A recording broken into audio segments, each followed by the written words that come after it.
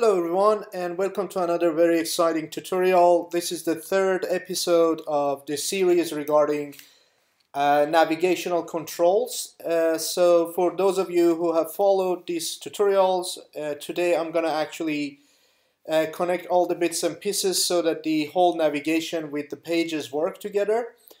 And for those of you who haven't followed the tutorial, I'm going to put the link uh, to both uh, previous uh, episodes, so please go ahead and check them out first. And now, without further ado, let's get started. So, just to go over an overview, we have a container and then we have a panels div, including our uh, sort of uh, panels here. So as you can see, we have four panels defined in the CSS. We gave them different colors and going back we have a div with our arrows control, one for right, one for left. Each of them uh, is an SVG with the path that we generated in the first tutorial. And then obviously I have an unordered list giving it a class of navigation which represents uh, represented by these circles down here, right?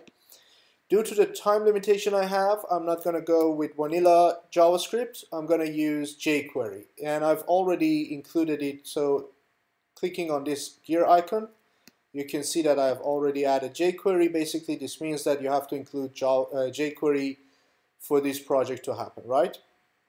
So I am going to start by writing document dot ready and I'm going to pass it a function, right? So what I need to do is that I need to detect the click, right? So I know that in my HTML I have this navigation with its LIs. So in jQuery we're going to select it like this. So I'm going to say uh, dots navigation li and then on the click of each of those I'm going to pass a function, right?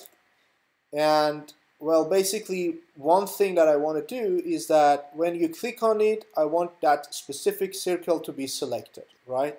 And in CSS, we've already created a selected class, which makes this bigger, right? So when you use the click handler here and passing a function, I can refer to that element that I'm clicking on using select using this, right? So I'm gonna use this, add class, and then select it right? So when I click on each of these, you can see that uh, the ones that I click get selected, but obviously first I want to deselect everything else. So what I need to do, before adding the class to the selected one, I'm going to choose uh, navigation, all the LIs, and I'm going to remove class selected, right? So now, if I click on each of those, you can see that the previous one that was selected gets deselected, right? So this is the first step. The second step is that I want to get the index, right? Basically saying, is this the first one, second one, third one, or the third uh, or the fourth one that I'm clicking? And based on that, I reveal the uh, respective page, right? So we have four circle buttons down here, and in my HTML, I have four panels. So based on the clicking on each of these, I want the respective panel, first one, second one, third one, or fourth one to reveal, right? And in order to do that, first I need to get the index of the one that I'm selecting. In, in, in jQuery, the way to do that is that you're going to select uh, using li selector. So basically this selects all the li's and then I want to get the index of the current one that I'm clicking. And as I said before, using dollar sign this, you refer to the one that gets clicked, right? So I want the index of this, right? And I'm going to put it in a, let's say, variable called index.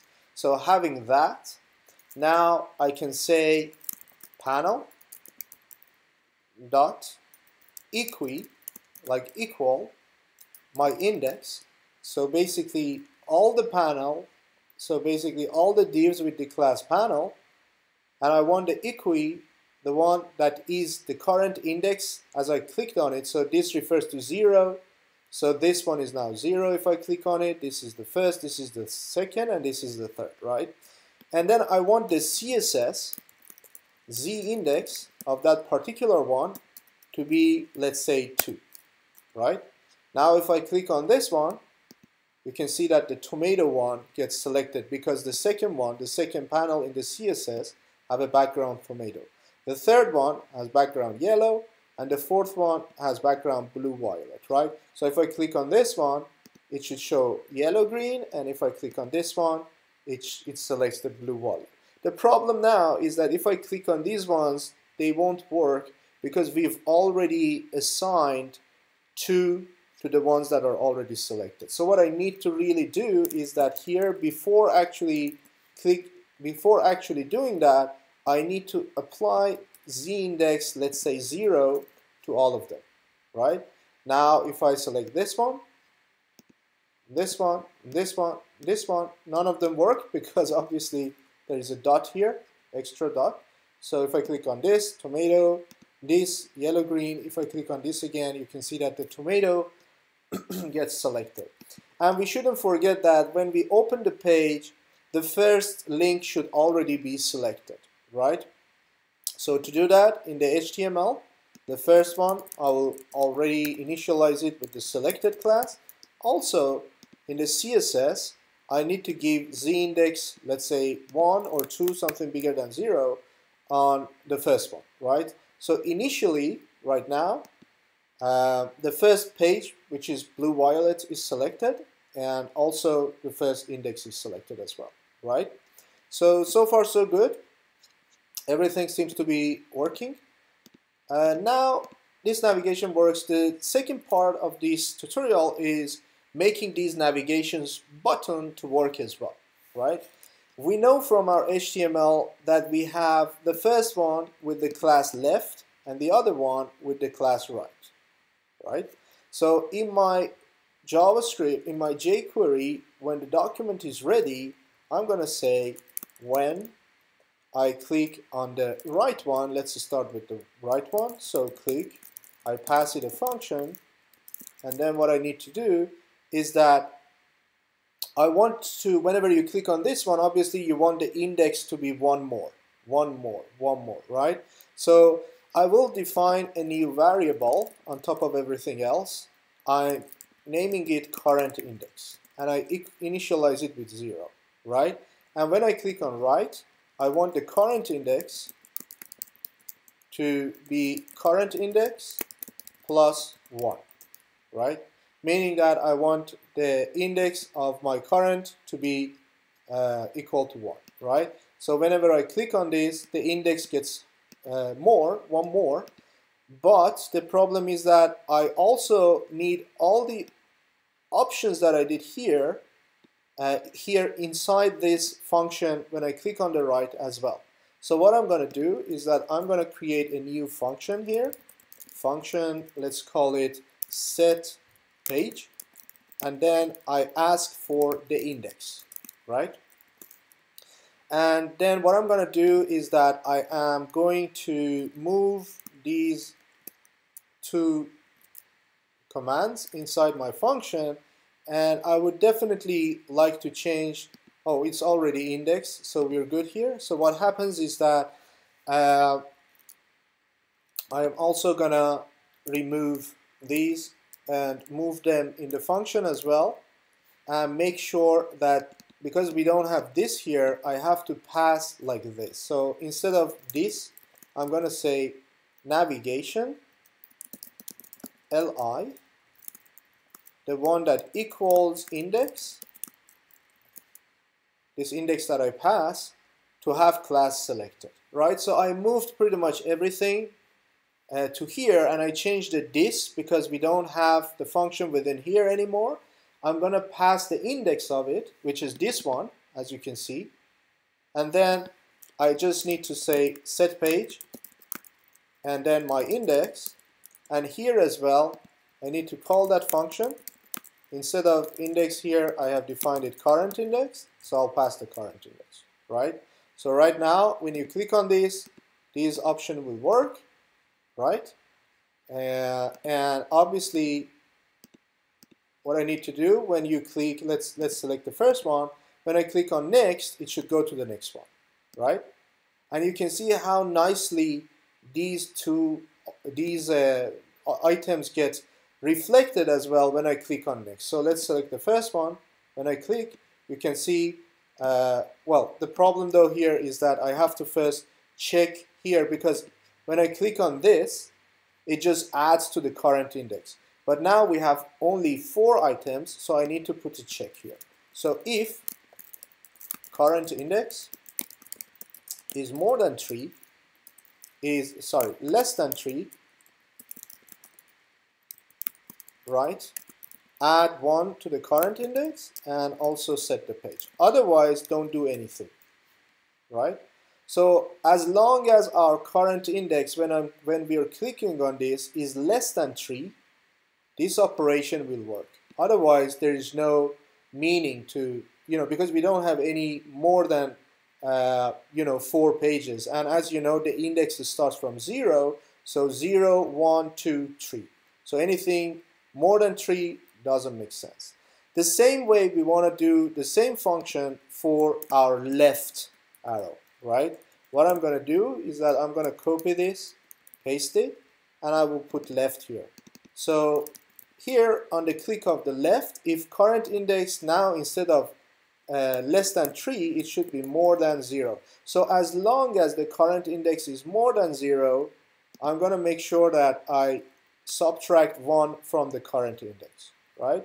So now if I play with this, tomato, yellow, green, and violet, and if I press this this one, if I press it anymore, it, it wouldn't do anything because the index is going more than 3. So no, nothing happens.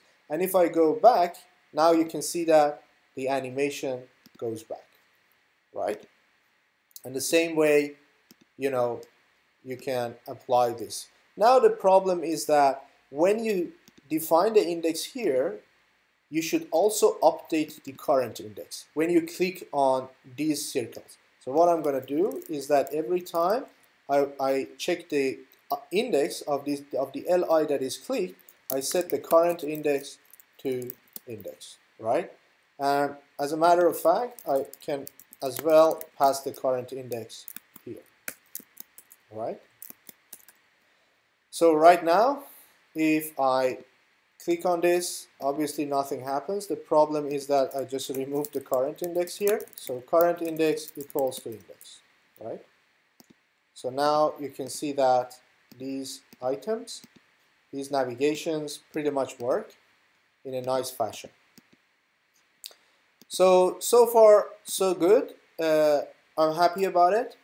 Uh, you can do a lot of other things. For example, if the current index is more than 3 here, you want to make the opacity of this one a little bit less so that it kind of gets disabled or apply a disable class. But for now, we're good. Now what I want to do is that now that I know that my navigations work the way they should, as you can see, uh, what I need to do, I'm going to go to kodhus.com slash codity um, and I want to get one of the codes. Uh, let's say uh, let's say this one. And one of the functions that Codity provides is that, uh, sorry, I clicked on the wrong button.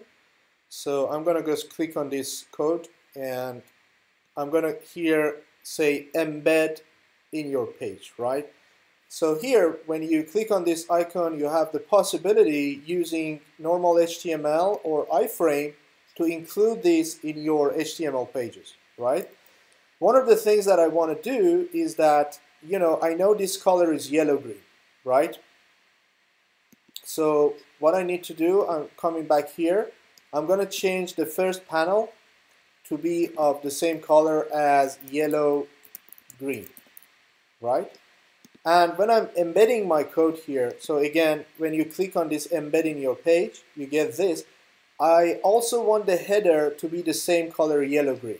So I'm going to go to Google. I'm going to type yellow-green CSS. And you can see it kind of gives me the color here. This is the hex of yellow-green. I'm going to coming back to to uh, this uh, embed page here, uh, I'm going to change the header background color to that color and I remove this hash from it because you don't need it.